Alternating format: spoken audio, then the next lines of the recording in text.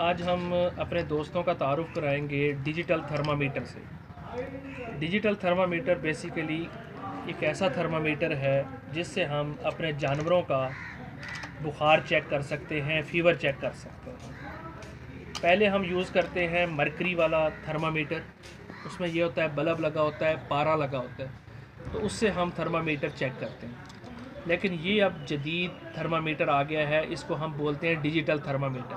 اس کو جیسے ہی ہم اس بٹن کو پریس کر کے آن کرتے ہیں، تو اس سے ایک جو ہے وہ آواز، بیپ کی آواز آتی ہے اور نارمل ٹمپریچر شو ہو جاتا ہے۔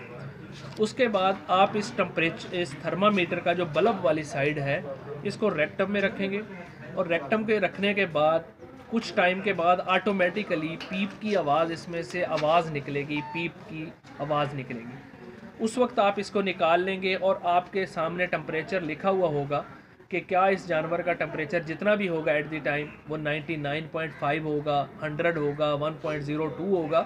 وہ ایگزیکٹ فگر ایک ایز اس اس تعداد اس کہہ لیں کبھی فگرنگ میں لکھا ہوگا، اس کا پوائنٹ نہیں ہوگا۔ وہ اٹھانوے پوائنٹ سکس ہے، ون زیرو ون ہے۔